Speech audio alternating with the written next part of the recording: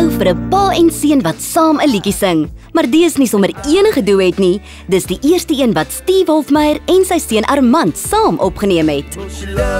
Tomorrow like she loves you today? She can keep your heart guessing, but she's yours if she stays.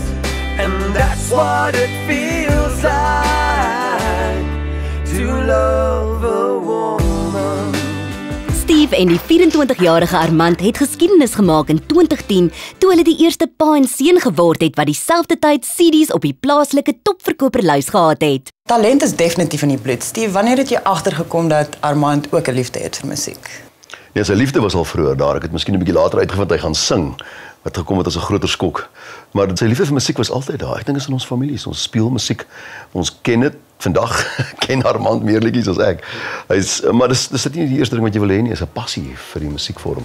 En dan van daar af kan jy goeie liedjies skryf word soos hy en 'n 'n goeie sanger.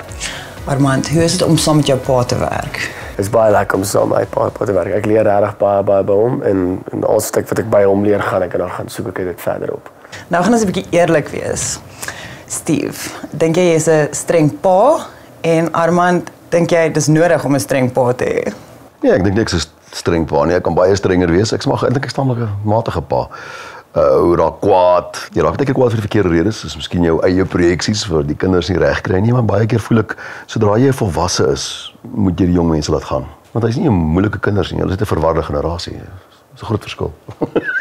Nee, ek ek dink dink jy hy's hy hy's 'n streng pa nie. Hy's streng op sy nodige tye, maar is maar hy's nie ja, hy's hy's glad nie 'n streng pa nie. Gaan glad nie. Want deze mis my en ek kies mis jou. Liefling ek voel ek te ver van jou.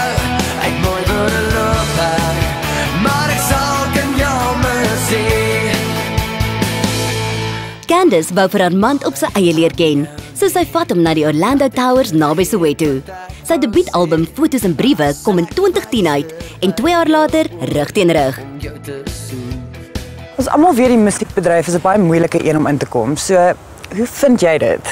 Dit is baie moeilik om in te kom. Dit vat eintlik 'n goeie 10 10 jaar om in, in te kom. Dit is baie baie werk en dit is ding is jy het nie 'n kapitaal nie. Jy begin van van hier af en van hier af werk en van hier af werk. So is moeilik, maar nou begin hy actually optel. Ek ken nou alles om my, so is makliker nou. Ja, nou die feit dat Steve Hofmeyer jou pa is, maak dit dit vir jou makliker of moeiliker om jou eie stem te vind om in te kom?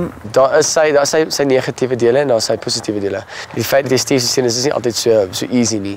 Dis baie baie moeilik moeilik actually party mense judge daaroor dat, dat jy kan nie dit doen nie, jy mag nie dit doen nie want jy jy positief. Die maklike deel deel daarvan is is, is mense jy actually erken hulle jou, jou sien want ek is nou al van 4 jaar oud af in die in media. Is daar enige advies wat jou pa vir jou gegee het wat by jou bly?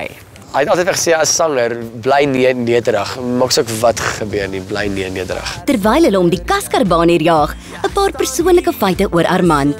Hy sê dat hy 'n DJ sou kon wees as hy nie gesing het nie, want hy stel baie belang in die tegniese aspekte van klank en is 'n goeie klankingenieur. Dan hou hy van sushi, sy bakkie en sy vriende. Hy kan lekker braai en is volgens hom eintlik 'n sensitiewe siel. Dit is hier van my paai in 'n dofla. En daar voel se ver sonder jou. Ja, ek staan hier tussen die lyne. Als was gedoen en gedoen saam met jou. Armand skryf die meeste van sy eie liedjies in Engels en Afrikaans, soos op sy derde serie wat pas uitgekom het. Vertel my van jou nuwe CD. Die serie se naam is Lekker Lyf. So dit is 'n lekker serie. Lekker. Lekker lyf beteken dit kuier net 'n bietjie harder as normaal weg. As jy 'n lekker lyf serie wil skryf wat lekker lekker lekker songs op het, jy lekker paar kuiertjies in jaag, braai um, in jaag om dit te kan kan inkry. Dis nog steeds my as 'n song wat ek saam met my pa pa sing ja. En dan sal verder net kuier songs. Maak hy toe en lekker lyf en dis crazy, is baie baie mooi. So vertel my, gaan jy in jou pa se voetspore volg met akteur wees en musikant wees of gaan jy net musiek doen? Wat is jou planne? Ek wil 'n bietjie skryf doen wat hy wat hy ook gedoen het, maar ek wil 'n bietjie meer daar daar dan doen. Ek wil 'n bietjie liedjies skryf en uitdeel, soveel as ek kan en ek het baie. So ek wil graag alles uitdeel. Acting het hulle my al gevra voor. Ons nog nie gefinaliseer op wat ons gaan doen nie. Daai programmetjies kan kan ek nie doen nie, maar 'n movie self sal ek baie graag graag wil doen. So na die gejaag om daai baan, sal ek dit waardeer as jy asseblief vir my sal sereneer met een van jou mooiste liedjies. Okay, ek sal vir jou sing. So wanneer is Een song. Een saam. Ja, ja, ja. Die mooiste een. Straat, so so baie. As jy familie het in Kanada, Australië of Nieu-Seeland, laat hulle weet dat Armand en Steve daar kom toer in Julie. Maar vir nou speel Armand vanaand se program uit met liggies. Geniet Vadersdag en vier jeugdag. Ons sien julle weer volgende week.